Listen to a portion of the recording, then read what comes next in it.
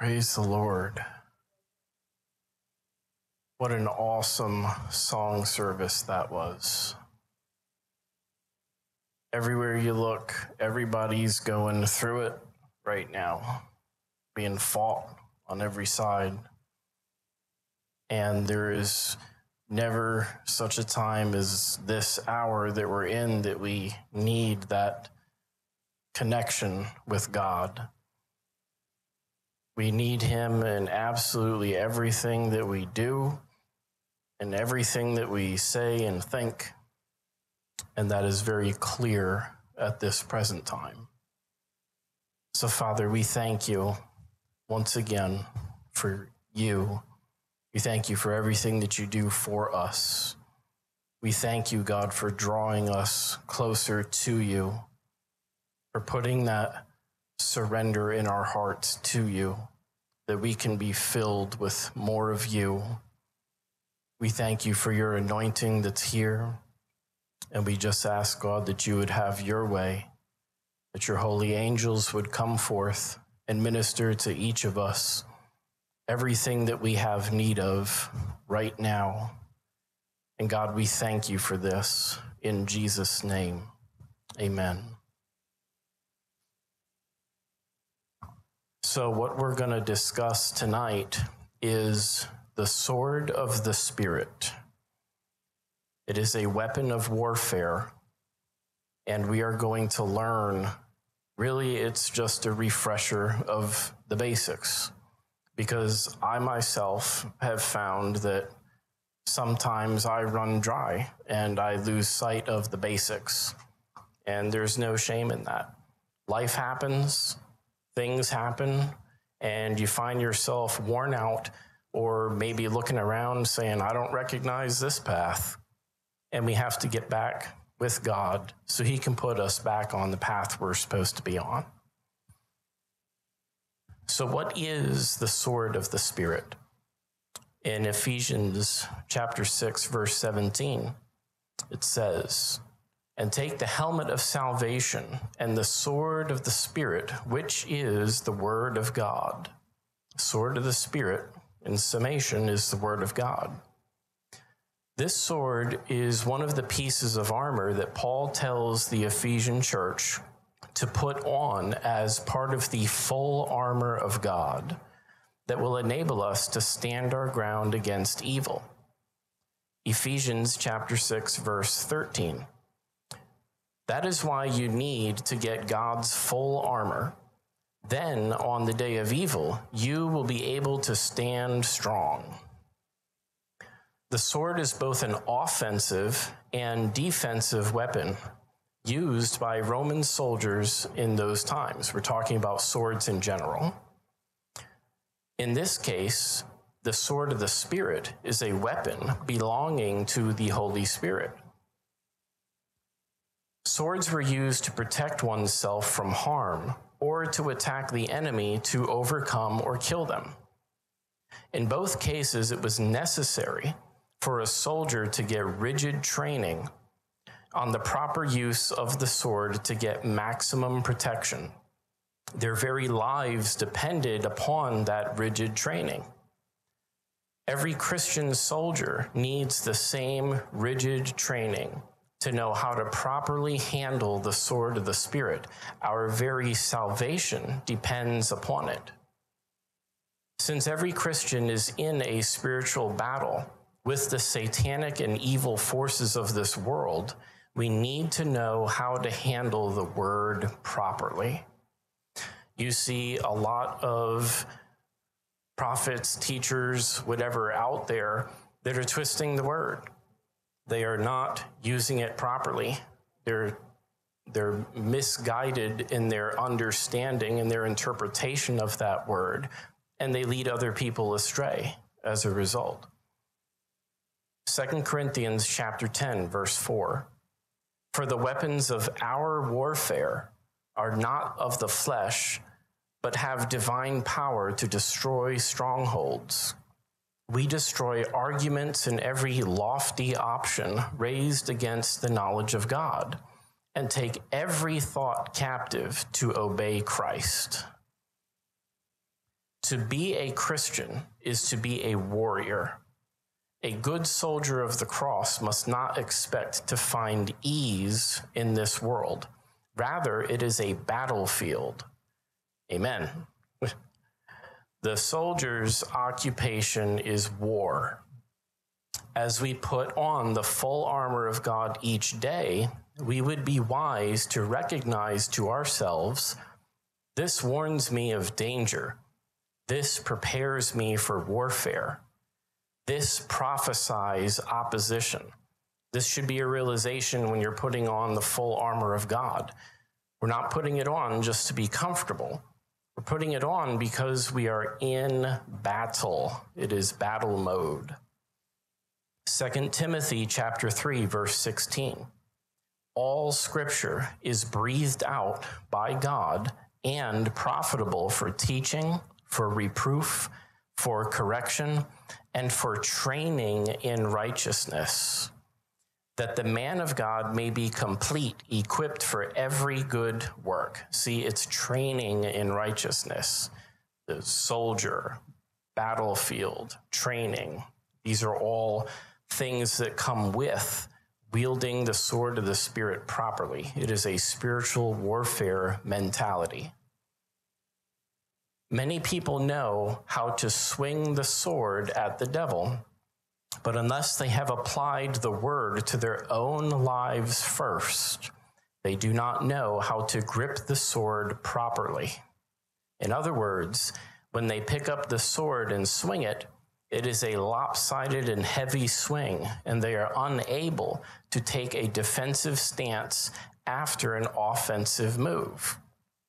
These are people that do not apply the Word of God to themselves in their own lives first. We should be judging ourselves with the Word of God.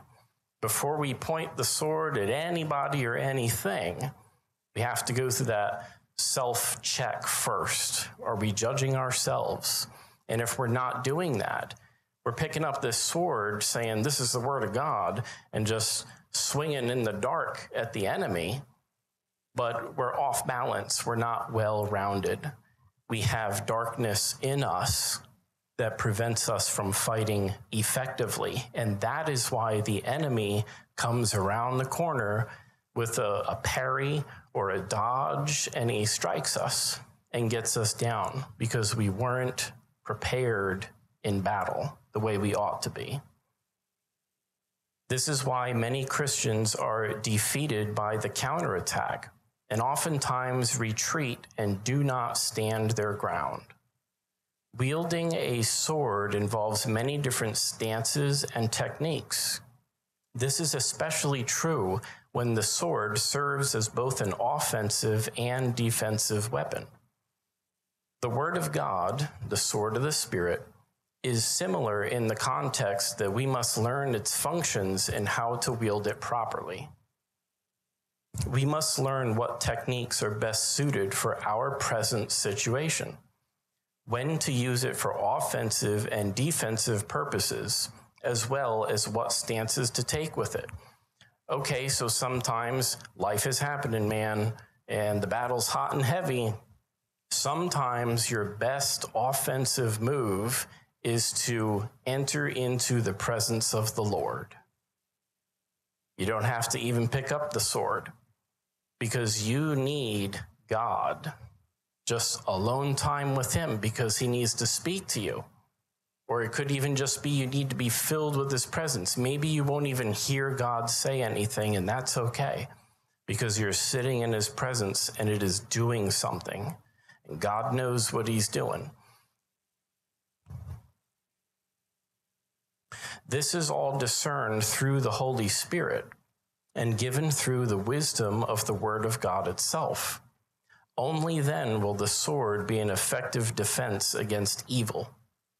It will also be an effective offense, offensive weapon we use to demolish strongholds of error and falsehood.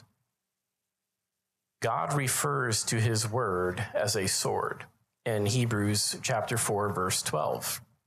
God's word is alive and working. It is sharper than the sharpest sword and cuts all the way into us. It cuts deep to the place where the soul and the spirit are joined. God's word cuts to the center of our joints and our bones. It judges the thoughts and feelings of our hearts. When we're reading the word of God, we should be inviting the Holy Spirit to be with us, to help us understand that by his spirit, that word can jump out. You know, you read the word and something jumps out, and it's like, oh, wow, that just answered something I was wondering about. It just gave me wisdom and how to handle a problem that I'm having. That's the alive and breathing Word of God that's being properly interpreted to you by the Holy Spirit because you asked Him to come in. And it's giving you sharp discernment, wisdom, and insight that God wants us to have. So it cuts right through all these evil lies of the enemy. It cuts through deceptions from, from people. It cuts through the heaviness of situations and circumstances that all of us are going through. And it gets right to the point of an issue. So that's the power of that sword.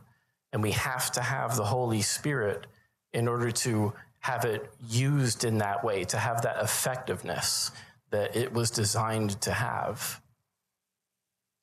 Here, the word is described as living, active, and sharper than a double edged sword. The Roman sword was commonly made in this manner. The fact that it had two edges made it easier to penetrate, as well as to cut in every way. The idea is that of piercing or penetrating.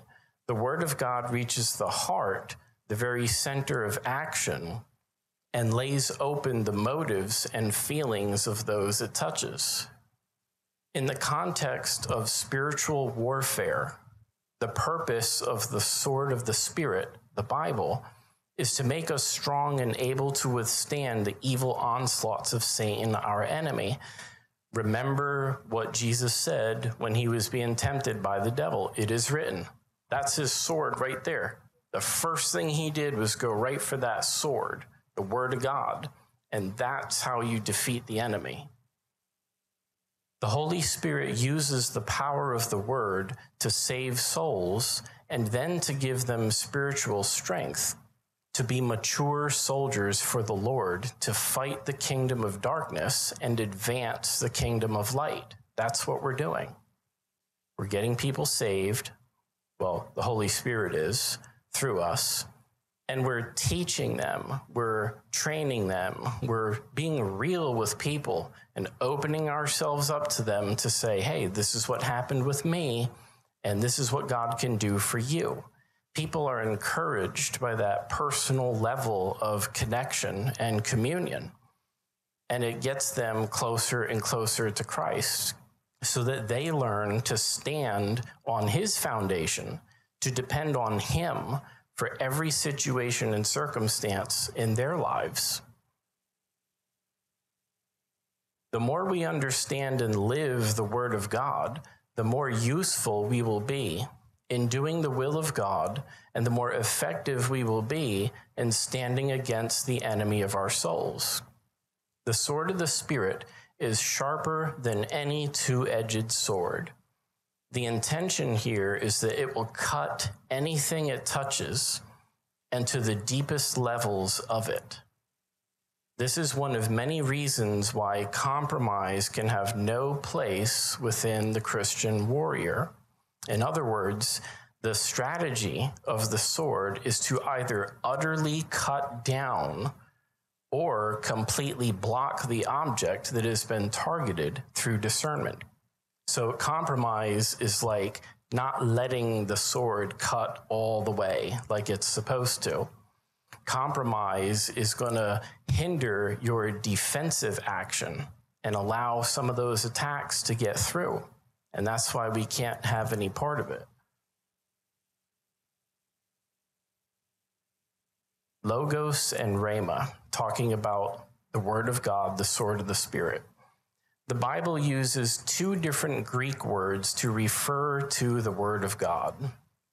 One of these words is logos, and the other is rhema. Understanding the meaning of these two words can help us know and experience God in a deeper way. Logos is used to refer to the whole written word of God, which we have recorded in the entire Bible. It is through the Logos written word that we can learn about God and know his ways, his salvation, and his plan for mankind. But we can go much further than this and know God on a personal, intimate level and experience him subjectively. This is where Rhema comes in. Rhema refers to the instant, personal speaking of God to us. He wants to communicate with us not only through his written word, but also by speaking directly to us in our situations. This instant speaking from God comes to us from within our spirit and is based upon the Logos word from without. Sometimes we receive God's Rhema word as we're reading or praying with the Logos word. So you're sitting down in front of the Bible, you're just reading it, and all of a sudden you get this like a prompt or you hear like a, a thought or a voice and God speaking to you some scripture or the meaning of a scripture as it pertains to your situation in life. That's the Rhema word that God is speaking to you. Sometimes we receive God's Rhema word as we're reading or praying with the Logos word. God may also speak a specific word to us anytime during the day or night. Usually, it's late at night after you've decided you want to lay down and go to sleep. but get up and listen because it's important if God is speaking. You don't want to miss it. Logos and Rhema are crucial to our Christian life because God uses both to speak to us. If we do not know how God speaks to us, we will be hindered and ineffective in our purpose. And I think that's an important thing to teach people is how to hear God's voice. He speaks in different ways, and sometimes it takes a person a little while before they can learn to trust that that's God's voice talking to them and so we just need to be patient with people and teach them this is how God works. He wants to speak to you so that they'll at least be listening. So, how does it work? As we read, study, and apply the written Logos word, it becomes rooted and embedded in our spirit man. We may not remember the scriptures or be able to recite them all the time or at all but if they are being understood and applied, then they are rooted fully in our spirit, which is where it matters most. When you get something down in your spirit, it is there to stay. And God can draw upon that anytime. God will pull the right scripture up from our spirit man at the right time and give us the words to say at the right moment if we have these stored up within us. In this way, they will be anointed because God has directed the thoughts, remembrance, and words to be given, and God's purpose will unfold in that moment. Sometimes you don't even know that God is working through you. You're just in a situation, you're talking, and it's really ministering to somebody. And God is using the knowledge and wisdom that He has given to you to pour into that person we don't have to know when God's using us. We just have to be. Have the word of God stored up in us and just go about our business, always listening for the Holy Spirit, asking Him to have His way in our lives, but then just go about your business, go about your daily life. And God will pour out from you what He needs when He needs it. In this way, also, God can speak instant Rhema words to us. These can guide us towards Him when we take heed to them. An example you're at work or school and you're angry about something. The more you think about it, the more problems you experience, and the deader you feel inside. All of a sudden, eh, amen, right? This, this is real. The more you think about that thing, it's like a little hamster on a wheel. That wheel just keeps getting faster and faster, and that hamster never gets tired. And that thing just keeps going and going. All of a sudden, part of a scripture pops into your head. Let's use Romans 8 6, for example. If your thinking is controlled by your sinful self, there is spiritual death. But if your thinking is controlled by the Spirit, there is life and peace. Immediately you realize, wow, no wonder I'm so dead inside and frustrated. I've been setting my mind on my flesh and the problem. I need to turn back to the Lord and set my mind on Him. Little light bulb goes off. Now, it's not always easy to be like, oh, gee, wow, that's what I'm doing wrong, and then turn around and do the right thing. That can be a process given the situation that we might be in. But that's what we need to do. The point is that when we set our minds on the problem, that problem is going to continually get bigger and bigger and bigger. So what we need to do is with by the word of God, we set our minds on Romans chapter 8, verse 6. If our thinking is influenced by the Spirit, there is life and peace. So take a step back from the situation.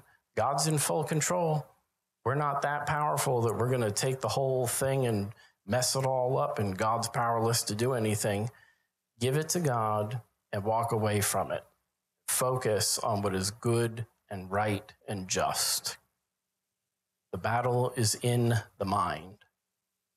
Then, as you pray and set your mind back on Jesus, you begin to experience life and peace once again, and are then able to hand over the problem to God and walk out the solution. How did all this happen? God used the written Logos word that you've been studying to speak an instant and personal Rhema word in your particular situation. The Rhema word does more than help us in particular situations, however. It also imparts the spirit and life Jesus spoke of so that we can grow in him. It also washes us so we can be inwardly transformed. It is by these two functions that God works out his purpose in us. In John chapter 6, verse 63. It is the Spirit who gives life. The flesh is no help at all. The words that I have spoken to you are spirit and life. God's Rhema words that he speaks to us are spirit and life. The original Greek here for the words that I spoke, the Greek term for that is rhema in, in the Bible. The words Jesus spoke are spirit filled and contain life giving power. We can be transformed and renewed in our minds by the watering, the usage and application of the Rhema word put into practice, exercised to become more like Christ. The key for us to receive the Lord's Rhema words is to exercise our spirit when we come to the Word of God. The best way to exercise our spirit is by prayer. Commune with God, praying constantly. You can just talking to God while you're going about your daily business. That's prayer.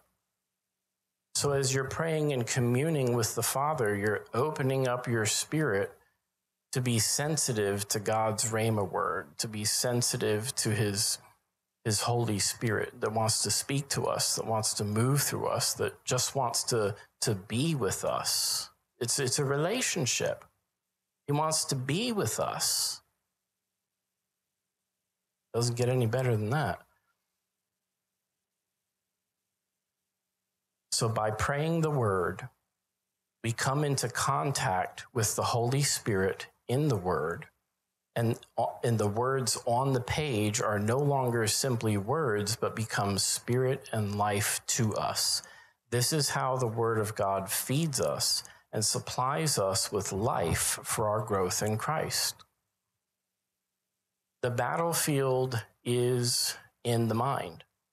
And if we if we continue to think and meditate on how things aren't going right, if we think about what's going to happen tomorrow and how am I going to do this, you know, weeks, months, years down the road, whatever it may be, maybe it's something in the past that, that we can't seem to let go of or, or that we, we hold over our heads. Oh man, the more that we entertain those kinds of thoughts, the more the enemy has an inroad, has an attack path to us.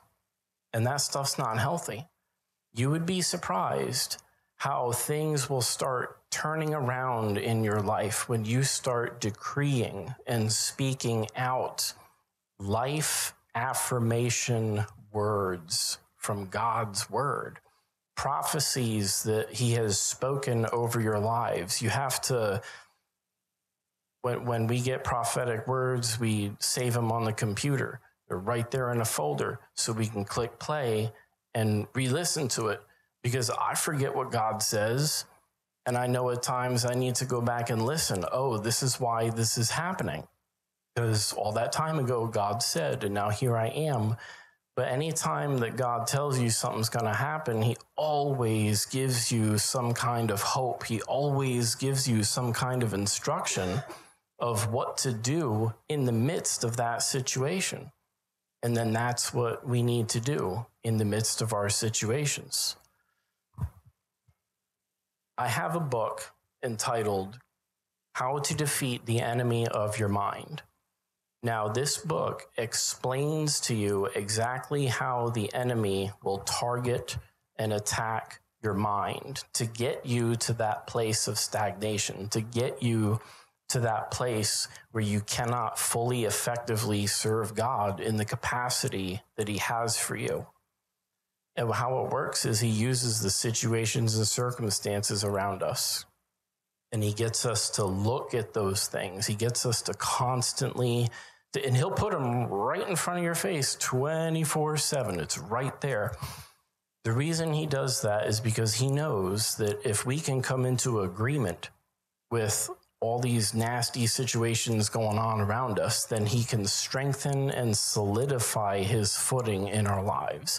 Then we start reacting emotionally to the situations around us. We start lashing out, maybe, you know, at different people around us. And that's, that's not okay because now people are getting hurt in the process. Then we start saying things that we probably shouldn't say and then once we start doing all that, then we start convincing ourselves, we start believing that, well, this is how it is. It's always going to be this bad or whatever. Now you're decreeing and declaring these things. The thoughts turned into emotions, which turned into actions. And it's a big mess now. And God revealed all this to us in, in this book. So it's normally $15. There's probably four or five left. I, I just want to get rid of them tonight. So it's only five if you're interested in that. It's a, it's a really good book that the Holy Spirit showed and explained how the enemy does this and what we can do to not only protect our minds, to guard our hearts against these kinds of uh, strategies of the enemy, but also how to counterattack these things and go back to the words that God spoke over us to break curses that we may have spoken over ourselves or others and to speak the blessings and the promises that God wants to give us over our lives. Because everybody's going through it right now. I, I believe God told Pastor Barbara uh, last service that she's now on the front lines.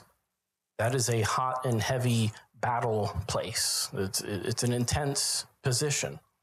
So, how many of us are on those front lines or are getting ready to go on those front lines? And then now we need the spiritual warfare, new strategies from the Holy Spirit. And we just need to be seeking the Holy Spirit to find out how does he want us to be fighting in this hour because the enemy comes with new tactics, new strategies. And we can't always rely on the old that we that we've known and used in years past.